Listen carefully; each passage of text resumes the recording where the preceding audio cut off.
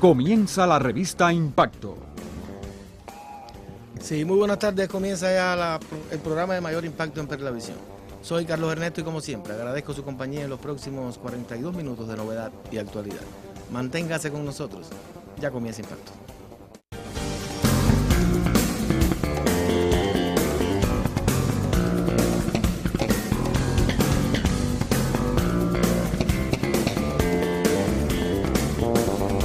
Comienza la revista Impacto. Hoy estaremos dedicando nuestra propuesta a la situación de la canasta básica en Cienfuegos y a otros elementos relacionados con el comercio y la gastronomía de nuestra provincia. Usted, como siempre, puede participar en Impacto si se comunica con nosotros a través del teléfono 4351-8335. Recibo ya en el set de Impacto a mi primer invitado en la tarde de hoy. Damos la bienvenida al ingeniero Víctor Hernández Cruz, director de la empresa mayorista de productos alimenticios y otros bienes de consumo, conocida como la EMPA en Cienfuegos. Gracias, Eddie, una vez más por estar con nosotros. Buenas tardes, Antes de comenzar nuestro diálogo, te propongo a ti y a nuestros amigos televidentes el siguiente material, donde autoridades principales de nuestro país nos ponen al tanto de la situación que existe en Cuba con la canasta básica familiar. Usted manténgase con el programa de mayor impacto de este canal. Hoy la canasta familiar normada depende mayoritariamente de importaciones limitadas por las restricciones financieras del país y su comportamiento no ocurre igual en todas las provincias. De la insatisfacción de la población, afectación a los resultados económicos y financieros de las empresas, demanda mayor esfuerzo de los trabajadores para viabilizar la presencia de los productos en la red con un salario medio que no supera los 4.400 pesos no se logran generalizar los sistemas de, pago y crece la descapitalización del sector. Como positivo en este programa se mantiene la venta controlada de artículos de aseo y cigarro, así como los productos de las cadenas de tienda y otros incorporados por decisiones locales. Sugiero, propongo, pido una mirada diferente de país hacia las provincias orientales y la distribución de la canasta básica. Específicamente a la provincia de Granma, toda vez que ésta se hace sobre ruedas y con procesos organizativos complejos en el puerto, lo cual engendra especificidades que definen la llegada a tiempo o no o atrasos superiores en respecto o con respecto a otras provincias del país, aunque los productos estén en Cuba y estén en el puerto. Las provincias orientales en los últimos meses se han visto limitadas por la situación de los recursos que han llegado en el mismo mes de la distribución. Y requiere entonces de un esfuerzo extraordinario por los ferrocarriles, por el transporte y también por el cabotaje. En muchos lugares se han buscado alternativas y variantes para cubrir esta situación, sin embargo, las propias características de estos municipios, las limitaciones ambientales que tienen a partir de esta misma situación geográfica, limitan la efectividad de muchas de estas soluciones. Además, los caminos de montaña limitan en muchos casos algunas alternativas y variantes que se han buscado. En esto interviene no solo el MinSIN, intervienen también las iniciativas que puedan buscarse en el municipio, en la propia provincia y en el MINAL también, porque tienen relación con las cuestiones del lácteo. Pero a mí me parece que tenemos que seguir pensando y buscando una solución que sea eh, eh, sostenible en el tiempo para esta situación puntual que se hace bien complicada en estos lugares. Nosotros no podemos seguir pensando que el sostenimiento de la leche de los niños del país puede ser solo a base de importación. Y en estos días tensos hay municipios que han logrado el autoabastecimiento de leche para los niños, con leche que estaba producida, que se produce y que no se acopiaba y tiene que ver mucho con los elementos estos que se hablaron ayer por parte del primer ministro, de las cosas que tenemos que controlar, de las cosas que tenemos que atender con mayor atención, de la exigencia que tenemos que tener y compañeros de la necesidad de producir. Nosotros vamos a ser capaces de, de distribuir con justicia social la riqueza que seamos capaces de crear. Y la riqueza no se crea importando, la riqueza se crea trabajando y produciendo.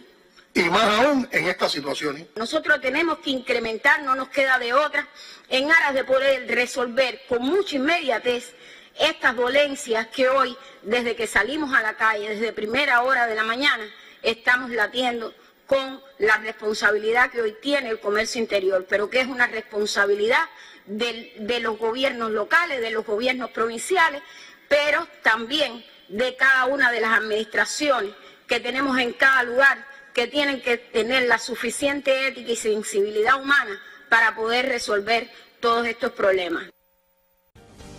Lo que a usted le satisface, lo que usted quiere saber. Somos actualidad, novedad y mucho más. Revista Impacto, el mayor informativo de Perlavisión. Gracias a nuestro equipo de producción por esta compilación de opiniones que nos muestran una vez más las difíciles situaciones que enfrentamos eh, económicamente hablando en nuestro país y que lastran esta canasta básica a la cual nos acostumbramos durante muchísimos años y, de la cual recordamos muchísimos productos. Mm, somos testigos ahora de otros tiempos, muchos hablan de atrasos, de demoras, de productos que han desaparecido y de la actual situación. En Cienfuegos estaremos conversando en los próximos minutos, como ya le decía, con el ingeniero Eddie Víctor. Y Eddie, en este mismo instante, ¿qué se ha dado en Cienfuegos? ¿Qué hay en la provincia en esta canasta básica? Sí, buenas tardes, reiterado. En el caso de Cienfuegos, para el mes de septiembre, el país aprobó una política la cual estamos ya compartiendo. Se aprueba para el mes de septiembre 7 libras de arroz, las cuales están garantizadas el banco arriba en horas de la noche horas y primeras horas de la mañana y comienza a operar. En ese buque viene todo el arroz que garantiza las 7 libras per cápita del mes de septiembre. Esto coincide con lo que explicaba la ministra, a partir de la situación financiera se retienen los buques, pero ya felizmente el arroz está llegando a Cienfuegos. Se aprueba para el mes de septiembre también dos libras de azúcar crudo, las cuales están en la provincia hoy, se comenzaron a operar desde el puerto de Cienfuegos hacia los almacenes. Hoy tenemos garantía de las dos libras de azúcar que en el mes de agosto no se pudieron entregar por disponibilidad del país. Una vez que esta se liberó, se pudo ya comenzar a, extraer de los puertos. Se aprueba también para el mes de septiembre las 10 onzas de, de que están en distribución. Ya desde hoy comenzamos a distribuir en el municipio de Cumanayagua, en el municipio de Aguada, el azúcar y el chícharo y continuamos de forma inmediata, porque tenemos que decir también que, coincidiendo con la ministra, lo que estamos haciendo en los últimos meses es acortar los tiempos de entrega a partir de la entrega tardía de, de estos productos. También se garantiza la séptima vuelta de compota, la cual cumple el ciclo de entrega a los niños que adquieren este producto. Y estamos garantizando este mes, que está en distribución también, cuatro cajetillas de cigarro y un tabaco, el cual es liberado, controlado por eh, la red de comercio minorista. Estos son los productos que hoy están aprobados en la política. Eh, como se ha explicado eh, a nivel de país, este mes no hay aprobado el aceite y el café, que son dos productos básicos que por problemas financieros y de materia prima no se han podido lograr estabilizar. Este mes tenemos la ventaja también de que el país nos aprobó la octava vuelta de entrega gratuita del programa Los Vulnerables, Embarazadas y Bajo Peso. Esto es un programa que entrega de forma gratuita arroz, entrega grano, en este caso leguminosa, chícharo, y entrega sardina. Esto en, en cada punto que están ubicados en, cada municipio y en Sinfuego hay ocho puntos. Este programa está hoy en distribución y estamos terminando de completar los productos desde Villa Clara hacia la provincia de Sinfuego. Todo se va a entregar dentro del mes. Y también se aprueba la segunda vuelta del Programa Mundial de Alimentos a las personas vulnerables y a las embarazadas, que también con una receta de aceite, granos y, arroz. Ya recuerden que en este año se había dado una vuelta del Programa Mundial de Alimentos. Y también se incorpora eh, para las personas mayores de 65 años y a partir de mañana la entrega a la red de comercio de dos latas de sardinas per cápita a aquellos que están mayores de 65 años. Todos estos productos se van a entregar dentro del mes y ya le explico, están todos los esfuerzos de los transportistas, los portuarios, los mayoristas y los propios compañeros del comercio para cortar el tiempo de entrega y llegue lo más pronto posible estos productos a, la población en el mes de septiembre. Yo tengo una pregunta que, ya creo que comenzaste a responder, pero bueno, vamos a, ir a, la, respuesta oficial, que, no, que tenía que ver con los productos atrasados. Acabas de decir, por decisión de política del país, este mes no habrá, no está aprobado aceite y café. Quiere decir que en, muchas ocasiones has venido aquí y acuérdate que hasta hemos jaraneado con nuestras desgracias y hemos dicho, ya no sé si el chícharo es de octubre, el aceite de marzo, ¿te recuerdas eso? Quiere decir que hoy no estamos hablando de que eh, nos deben el, café de tal mes o el aceite. Es, que, es que por política del país hay meses en que no, no, no hubo. A ver, eh, desde enero hasta hoy, septiembre, todos los productos que se han aprobado en la política, la provincia y la mayorista lo ha cumplido, excepto la sal, que te iba a comentar del producto que tenemos hoy pendiente y atrasado. La sal de julio, agosto y septiembre está pendiente y está transitando por un cabotaje el cual debe llegar a nuestra provincia desde La Habana, una vez que llegue la patana a La Habana, y se va a transportar por ferrocarril. Es el producto que hoy tenemos pendiente. El resto de los productos de la canasta familiar normada han estado entregándose según la política que aprueba el país a partir de la disponibilidad y la situación financiera que permite la compra de estos productos. Bien, también diste respuesta a algunos televidentes que eh, a través de nuestro productor nos hacen llegar sus preocupaciones porque se trata de adultos mayores jubilados lógicamente con ingresos inferiores al resto, y que aquí mismo decía, desde el 2018 hacia acá se han quedado nueve productos prácticamente fuera de la libreta de abastecimiento y hay pocas garantías de volver. Y mencionan, por ejemplo, el huevo, el azúcar, el café, etcétera. Es verdad que es muy difícil para todos nosotros adquirir los productos hoy eh, en otros mercados más informales y lógicamente para los, jubilados y los, ancianos se hace eh, más compleja la situación. El azúcar hablaba que este mes he aprobado dos, libras, el café, esperemos, los huevos se han desaparecido también. Nosotros no circulamos los huevos, es el CAN, pero bueno, pues participamos en los contactos de distribución provincial. Eh, está a partir de la situación de la puesta de la gallina, el alimento ha tenido limitaciones y es lo que está provocando la no entrega de este producto. Lo comento porque participamos constantemente. En el caso del azúcar ya se liberó la misma y se va a entregar a dos libres. Inclusive la azúcar del consumo social para los hospitales, para las escuelas, estaba limitada. Este mes también la estamos entregando, eh, al igual que los productos básicos del consumo social. Hay también una cuestión, en el material que pusimos a manera de portada se hablaba eh, del tema, tema que para nadie es un secreto, nos golpea, que es la situación del combustible. Y decías, estamos tratando de acortar los tiempos de entrega, pero nos afecta mucho también. Eh, no solamente eh, el parque de transporte con el que cuenta a veces la provincia, sino con el combustible. A veces tenemos el producto en el puerto y, demora en llegar por la situación del combustible. A ver, mire, eh, en este minuto la situación es tensa con el combustible. Pero tengo que decirle que cuando ya empieza la operación del banco, la principal prioridad constituyen los alimentos. Y todo el transporte se pone en función de esto. Ya mañana se aprobó el azúcar, ya mañana hay cuatro carros de, termina en función de la, de distribución del azúcar. Ya cuando arranque el banco empieza la base UDECAN a, poner los camiones, es decir que a pesar de la tensa situación que hay con el combustible, siempre las autoridades gubernamentales ponen la prioridad en este combustible para la desconcentración de los productos de la judería. Eh, Víctor, nos llega otra pregunta que tiene que ver, usted hablaba, dice, de eh, los alimentos entregados a embarazadas, niños, personas vulnerables. ¿En algún momento se ha vuelto a manejar los productos que llegaban diferenciados al plan turquino? El plan turquino eh, ha estado adquiriendo los productos fundamentalmente del Embeli, que son los que están subiendo, como es el ron, que lo circula el propio Embeli. Eh, nosotros hasta el primer trimestre entregamos la carne. Estamos esperando la aprobación del segundo y tercer trimestre para la entrega de, de la carne, pero son los que se han podido mantener. Lo que sí en Turquino le damos una prioridad en cuanto a la entrega, cuando subimos tratamos de ir con todos los productos para que se vean los menos afectados.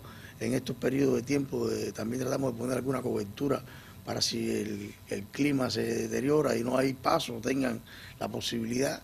Y bueno, siempre que haya una posibilidad de poner algún producto adicional de forma liberada, controlada, lo hemos hecho, como es el arroz, como en algunos casos se ha puesto el grano y en eso siempre se mantiene este tipo de prioridad con el turquino.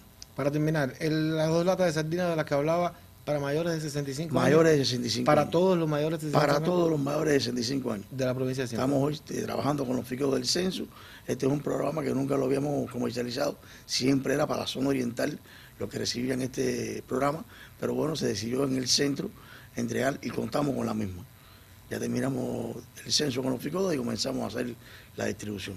Gracias, Víctor, por tu actualización de este importante renglón para todos los cienfuegueros. Te esperamos siempre con las puertas abiertas en la revista Impacto. Y a ustedes les propongo un material realizado por nuestro equipo de exteriores que nos acerca a los temas que habíamos anunciado al inicio de comercio y gastronomía en nuestra provincia. Manténgase con el programa de mayor impacto en Perlavisión.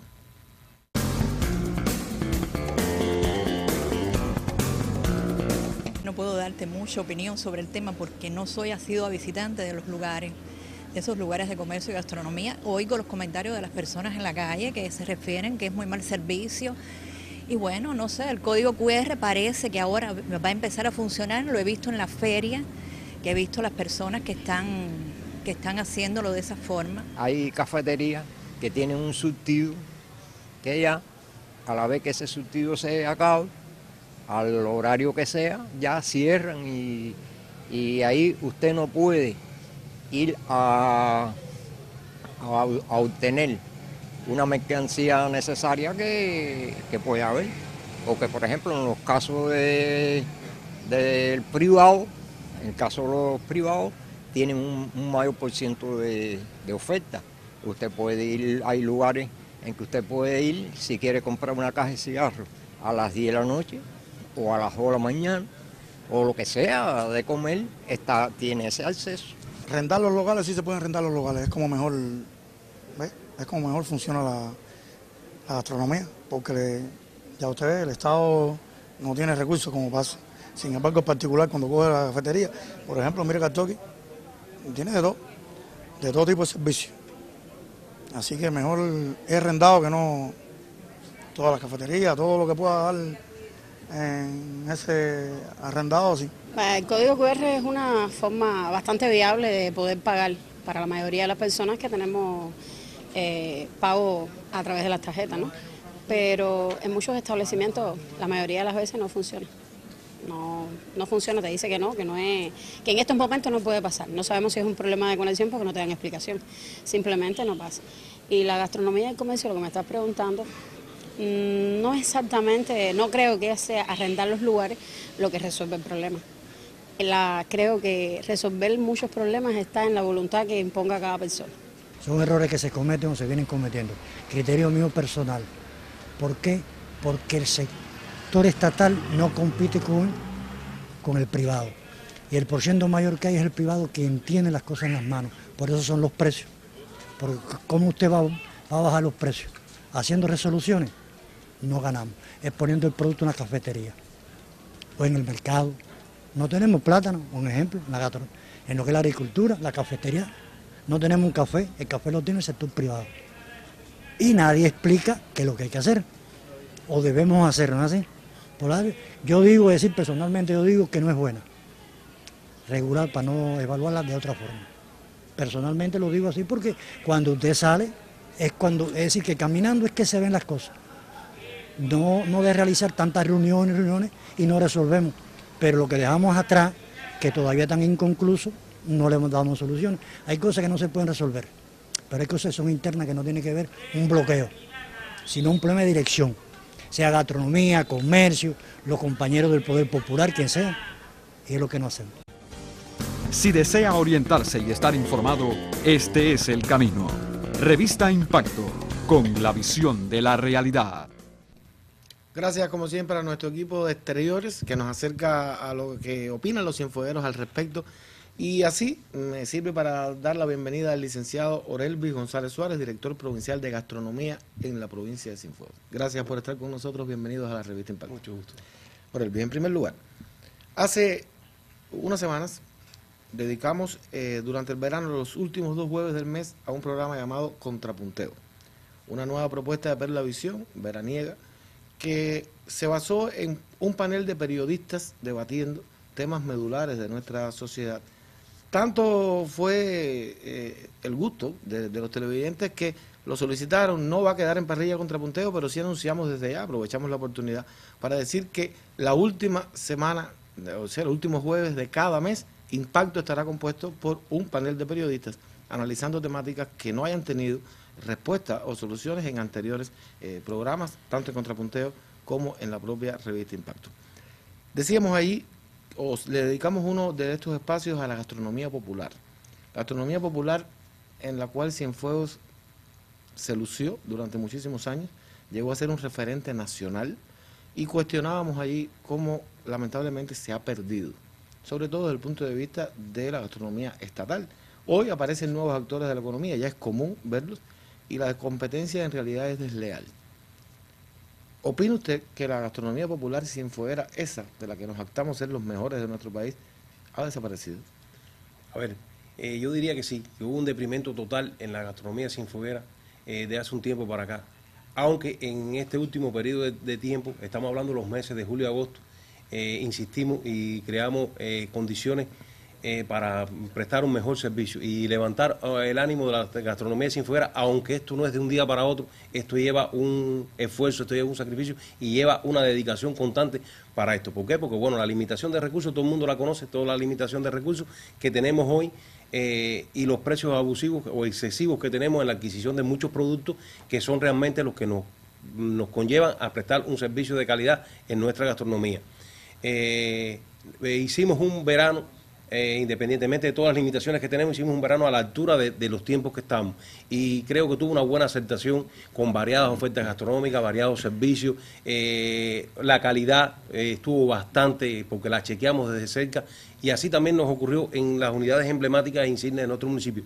Pero a, todo esto nos afecta y nos conllevan muchas cosas para, la para, para el deprimento que tuvo la gastronomía. Hoy no contamos con líquidos para la prestación de los servicios. Y nosotros hoy en la gastronomía, la limitación es tan grande que no tenemos una cerveza, no tenemos un refresco, no tenemos un jugo, no tenemos una malta y todo el que va a, un, a recibir un servicio de restaurante, de una cafetería, de un centro emblemático, ¿qué quiere? completar su servicio y, hoy no es así. Y esto nos afecta grandemente y lo hemos visto porque hemos hecho encuestas nosotros mismos por parte de la, de la, de la UVB a la población y nos plantea esto, cosa que nosotros sabemos, pero bueno, queremos tenerle el criterio de la población. Otro de los de los de la problemática que tenemos es que los actores económicos, aunque ya las autoridades de esta provincia están trabajando en función de eh, ver cómo insertamos los actores económicos que en su contratación, en su, en su prestación de servicios, está claro que ellos tienen que vender a la gastronomía que no sea hoy de una forma en dinero efectivo, sino que nos, ofrezcan los servicios, nos vendan los productos eh, por, por otras formas de, pago, el cheque, la transferencia bancaria. Y entonces eso es una de las cosas que nosotros tenemos que lograr, porque eh, hoy tenemos bastante eh, variedad de productos en nuestras unidades y, y la calidad está la estamos rescatando. No vamos a decir ni vamos a hacerle tampoco poner cosas que no triunfalista, sean. Sí, sí, vamos, vamos a decir que todavía nos quedan muchas cosas por hacer, pero sí estamos rescatando mucho de los servicios y estamos rescatando la calidad. Y entonces, eh, de ahí también eh, se desprende que nosotros, aunque hoy nuestras empresas, ni municipales, ni las UVB que, que, creadas por el 28, tengan pérdida, tampoco tienen un nivel de utilidades y lo único que pagan a los trabajadores es el salario. Entonces, imagínese usted, el salario medio de un trabajador del comercio de la gastronomía son 2.500 pesos es un salario netamente bajo. Entonces se van para, buscando trabajo en otros, en los actores económicos, nuevos actores económicos, y entonces es una inestabilidad total que tenemos en, los, en los, trabajadores. Vamos a hacer un alto, vamos a hacer un alto porque eh, me ha hablado de muchísimos aspectos que pudiéramos analizarlos un poco. Terminó hablando de los salarios, y sabemos que lamentablemente los salarios del Estado, vamos a decirlo ya en cubano, no se parecen en nada a los salarios que pueden pagar los, nuevos actores de la economía o los privados, para también llamarlo como comúnmente se le conoce. Pero hablaba de dos elementos anteriores. Uno es la falta de líquidos para completar un buen servicio en nuestros lugares emblemáticos, me vienen a la mente el mandarín, el polinesio, etcétera. ¿Y a dónde hay que buscarlo? Hay empresas que se dedican al expendio. Y también usted dice, que organismos que tienen la obligación de venderle a gastronomía para que tengan productos no aceptan mm, transferencias que lo quieren en efectivo. El efectivo es una palabra mágica en, este, en estos momentos. Y yo pregunto, ¿no es una contradicción esto con la famosa llevada y traída, levantada, resaltada bancarización a la cual estamos llamados, de la cual nos vanagloriamos inclusive? Es una contradicción inmensa. Entonces, yo creo que la respuesta a, lo que vengo diciendo es falta de control gubernamental, porque alguien tiene que velar porque esos organismos le vendan a ustedes de la manera electrónica como está establecido. Lógico. A nosotros hoy, nosotros tenemos el 100% de nuestras unidades eh, con, el código QR, o sea, que se puede comprar eh, en todo el, en la red minorista completa se puede comprar con, el pago electrónico. O sea, sí, que eso todo está instalado en todas nuestras unidades. Y a nosotros hoy, como le decía, nos cuesta trabajo que los actores económicos que, tienen en su contratación eh, una de, sus pautas es eh, venderles el servicio a, la- a las unidades nuestras, ¿no? A la gastronomía, aunque sea a, tra- a ra- a través de la EMPA, la empresa mayorista de productos aliment- alimenticios, también por ahí nosotros adquirimos, ellos le venden como lo hacíamos en un momento, pero esto se ha, se ha, se ha convertido en algo que no es usual, o sea, quieren el dinero en efectivo que no es el- el- el- lo que nosotros hoy tenemos, tenemos otras formas de pago. Vuelvo y le repito, la- lo- la- la- las autoridades de esta provincia ya están trabajando en función de eso, pero bueno, todavía no lo tenemos bien Concretado. bien concretado ni lo tenemos en nuestras unidades. Usted Hasta hablaba- que no lo tengamos y no podemos... Usted hablaba que estamos, mm, o que están en busca de un renacer de la gastronomía cienfueguera. Yo vuelvo a decir que fue de las mejores de este país, y no solamente hablando de nuestros restaurantes, que eran famosos también, sino de toda la red que existía de cafeterías especializadas, etcétera.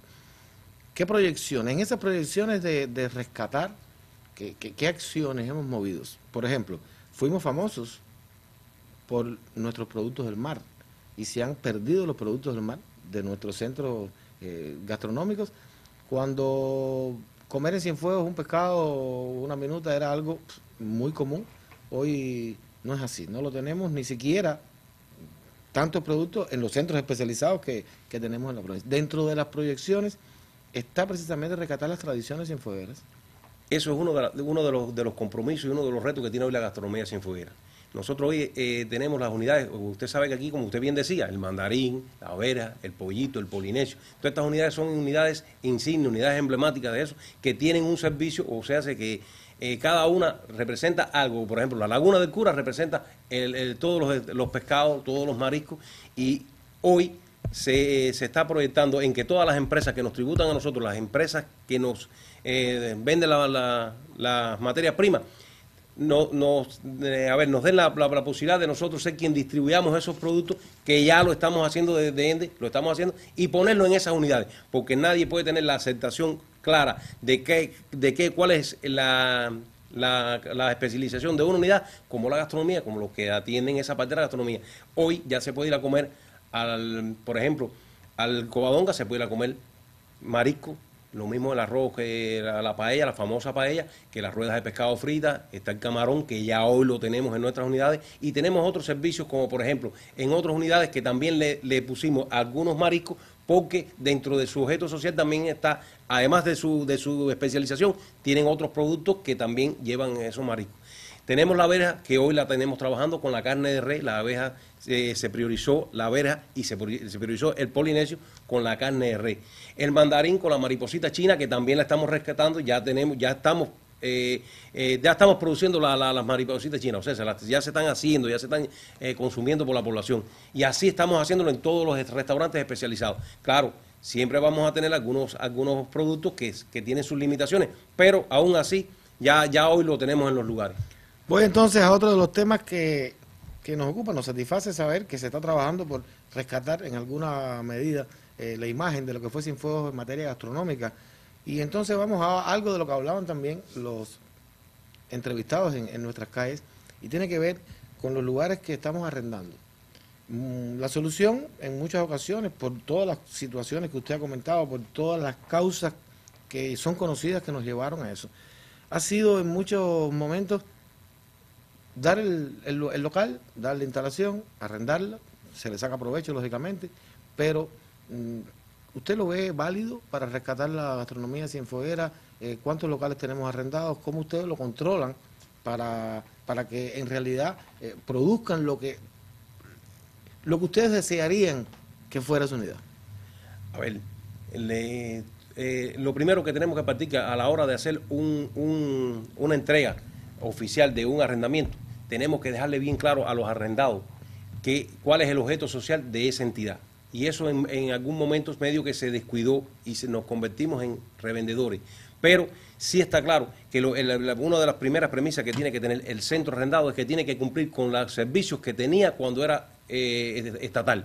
¿Qué pasa? Que nosotros, por todas las limitaciones que tenemos, como lo hemos hablado, tuvimos la necesidad de arrendar esos espacios. ¿Por qué? Porque, bueno, eh, no teníamos cómo llevar, eh, no, cómo mantenerle todos los productos que aún que, que se han mantenido por, de por siempre. Y hoy los arrendados, bueno, tenían la posibilidad de, de, con su esfuerzo, bueno, con su finanzas, con su financiamiento, ponerlo en lugares. Y está pactado en su contratación que tienen que mantener los servicios, además rescatar los servicios tradicionales que ha tenido esos lugares, como por ejemplo costumbre, eh, había lugares de estos que eran bares, que se jugaba dominó, que existía la chicharrita, bueno, eso es lo que se trataba de escribir, eh, de, de, de, que se mantuvieran y rescatar en, las en muchas unidades servicios emblemáticos que eran los que, los que, los que se comercializaban siempre, y pues, no, no solamente los, tradicionales, sino emblemáticos. Había lugares que se hacía la famosa cardosa, por ejemplo, y de buenas a primeras, cuando se dieron arrendamiento, no apareció nunca más una cardosa. Bueno, pero eso son eh, fallas que tuvimos en eso, pero yo sí creo que la, entrega de arrendamiento sí surtió en parte efecto, porque se le llevó a la población a lugares donde no se, no, nosotros como empresas estatales no teníamos la posibilidad de darle y se le llevaban eh, los, los bienes, los servicios que nosotros no podíamos hacer. Usted no, me explicaba antes de entrar que existen dos tipos de, de arrendamiento, o sea, uno el local eh, solamente y otro toda la instalación con su servicio.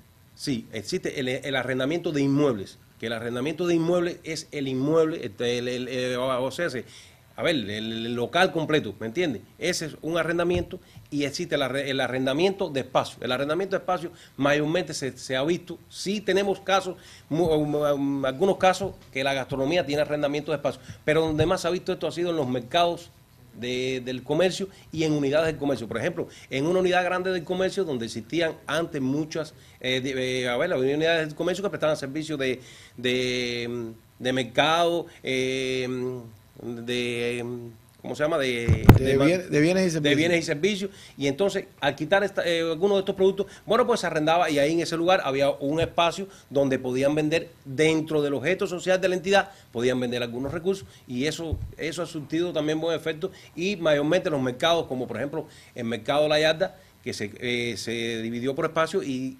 venden diferentes personas, que esto bueno tiene un impacto económico para nuestra para nuestra eh, empresa como tal o las empresas nuestras porque de ahí reciben remuneración a raíz de lo que se cobra por, por, los metros cuadrados, eso. Pero bueno, más es un impacto social porque se le puede llevar a esos lugares los recursos, como, como decía ahorita, recursos que no tenemos para ponerlo y que antes esa empresa los comercializaba o esa unidad los comercializaba y hoy los arrendados o los arrendados de espacio tienen la posibilidad de tenerlo ahí. Yo antes de irnos a una pequeña pausa quisiera hacerle una última pregunta en este momento. Usted decía, eh, si ha surtido efectos, si es partidario de la idea de arrendar, pero a los inicios eso se nos fue un poco de la mano, lo dijo usted mismo. ¿Cree que se ha eh, recuperado el asunto? O sea, al inicio no cumplieron su función, ustedes han tomado acciones. ¿Cree que hoy eh, esos espacios arrendados están cumpliendo con, esa función? los espacios arrendados se han ido controlando eh, bastante fuerte en este último periodo de tiempo, pero además, eh, de hace eh, alrededor de 12, 13 días bajaron una circular por parte de la ministra y se van a chequear todos los arrendados independientemente, sea en la cabecera municipal, en, los municipios o hasta en los lugares más intrincados, con que con el fin de, evaluar bien el servicio, el impacto social que tiene, porque qué pasa desde aquí nosotros vemos y algunas cosas que nos hacen llegar a través de, llamadas, a través de, bueno, de, diferentes formas que la gente busca para dar su, su, su no sé, su preocupación, su, su criterio. Su, criterio. Y entonces, pero no es difícil controlar al 100% de las unidades así. Y entonces ahora se, va, se creó un equipo porque solamente el equipo que tiene, el, equipo que rige el trabajo por cuenta propia en la provincia, solamente ese equipo no da el abasto para tener el control, porque bueno, usted sabe que es bastante grande y bastante amplia, bastante amplia la provincia, pero ahora se van a chequear. Y yo creo que se ha habido paso de avance y se ha visto inclusive en la variedad de ofertas que he tenido y los precios que aquí, todos los arrendamientos que prestan servicios de gastronomía tienen que tener eh, productos de línea económica y hoy se están viendo, en algunos lugares todavía nos queda y todavía hay que trabajar, todavía nos quedan cosas por, por llegarle. Es lógico, es lógico y ojalá que en esta revisión que ahora se va a hacer por circular ya eh, más asidua y más permanente, ojalá que los precios sigan bajando porque eh, de ahí depende muchas veces el, sustento de, de los infogueros cuando salen a un rato de esparcimiento. Le propongo, como decía, una pequeña pausa a usted y a nuestros amigos televidentes, manténgase con el programa de mayor impacto de este canal.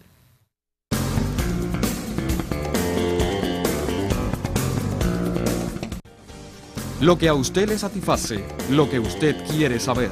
Somos actualidad, novedad y mucho más. Revista Impacto, el mayor informativo de Perlavisión.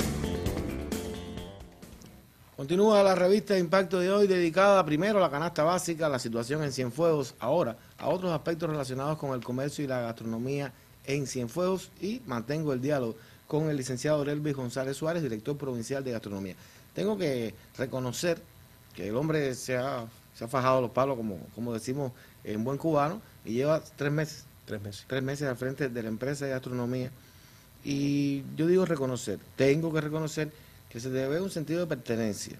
Eh, algo muy bueno para cualquier eh, directivo en cualquier sector. Nos llegaron durante la pausa o antes de la pausa eh, otros mensajes y tienen que ver este con la cafetería de la funeraria. Dice, revisen la cafetería de la funeraria que hoy no tiene ni cocimientos para degustar un lugar donde pasan horas los dolientes. Y entonces, dice por acá, eh, necesitan más acciones gubernamentales que ayuden a levantar la gastronomía, estamos de acuerdo totalmente, y que usted mencione una unidad que sea hoy un ejemplo de buen funcionamiento. Primero, eh, se manejan, sabemos todas las limitantes, usted las acaba de decir, y hablábamos de sitios emblemáticos. La funeraria, lógicamente, no lo vamos a mencionar como un sitio emblemático, sí con modificación, pero es un lugar donde la mayoría de las personas van a... No, no quisiéramos estar ahí. Y es verdad que se pasan horas allí y, siempre hubo un surtido en, esa cafetería que hoy está muy deprimido. A ver, es como usted dice, la funeraria es un lugar donde nadie quisiera estar. Eso es, desgraciadamente, vamos porque no nos queda otro remedio. Es un sitio bastante eh, desagradable estar, por decirlo de alguna manera. Nosotros eh, en la gastronomía siempre se ha protegido las funerarias de toda la provincia. ¿Qué pasa? Tuvimos muchas limitaciones y es verdad que hoy no tenemos ningún... Mira, ya en este momento todas las funerarias de la provincia tienen café.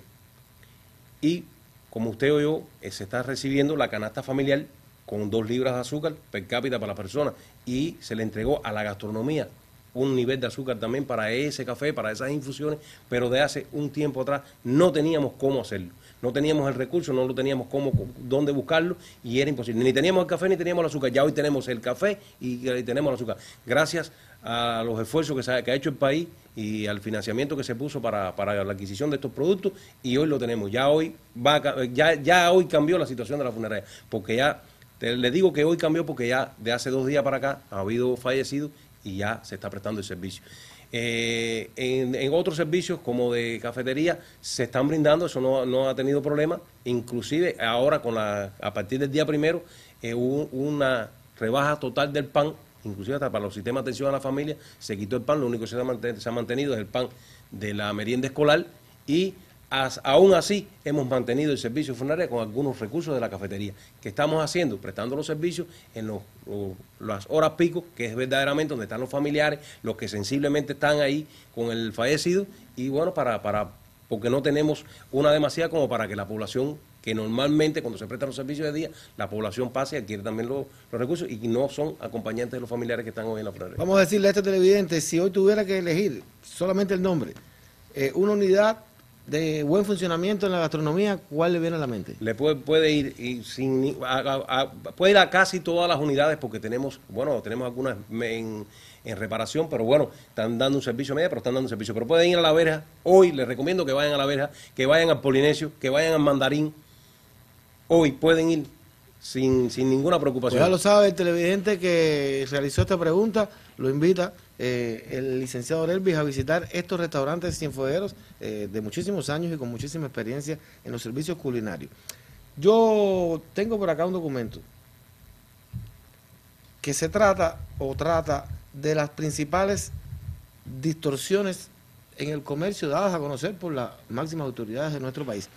Y son varias, pero llama la atención que entre ellas habla de eh, realizar actividades mayoristas y minoristas, cobro de productos en comercio minorista en MLC sin contar con autorizo comercial, no existencia de fichas de costo para algunos precios, son distorsiones, pero llama la atención que de los 7 y 8, 4 tienen que ver con la existencia del código QR para la venta, violando el derecho de los consumidores, o sea, la no existencia, y la necesidad, los códigos QR asociados a las cuentas personales y no a las cuentas fiscales, y el no desarrollo de los pagos digitales. Para ello enseguida aparecieron normativas llamadas aquí en este documento rectoría, de rectoría.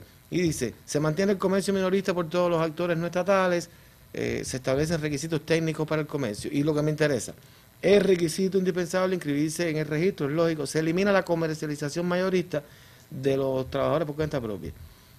Se aplican todos los tipos de pagos electrónicos que deben facilitar la comercialización, deben existir en todo momento los canales correspondientes de pago electrónico para un mejor aprovechamiento de las ventas y menciona los códigos QR. Sabemos que uno de los, eh, de los llamados de la famosa bancarización es los pagos electrónicos. No existe el efectivo. Yo le decía ahorita a usted, es una palabra mágica decir efectivo hoy.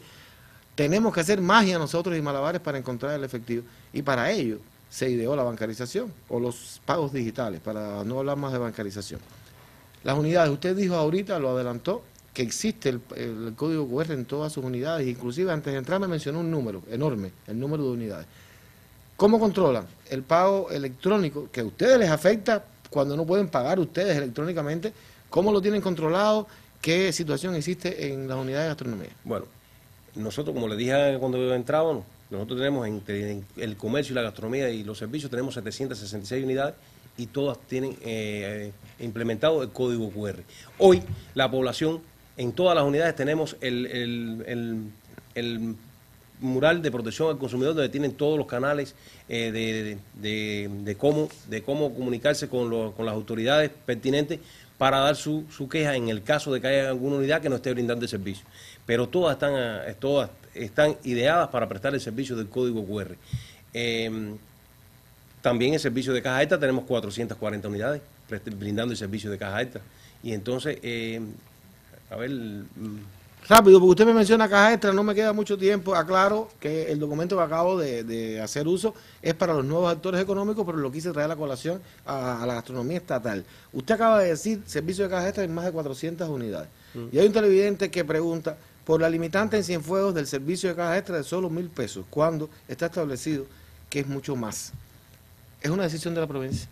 Sí, es una decisión de la provincia, de la Comisión Provincial de Bancarización eh, de mantener a, mil pesos el monto entregar eh, con, la, con el objetivo de que más personas tengan acceso a recibir dinero. ¿Por qué? Por la misma eh, tema que tenemos, que hoy la población tiene dinero en tarjeta y no tiene dinero en efectivo. Y entonces se, fue una decisión de, la Comisión Provincial de Bancarización. La caja extra, desde que llegó, fue muy bien acogida por todos los cienfueros y cubanos, imagino. Y Comercio y gastronomía estuvo en la vanguardia.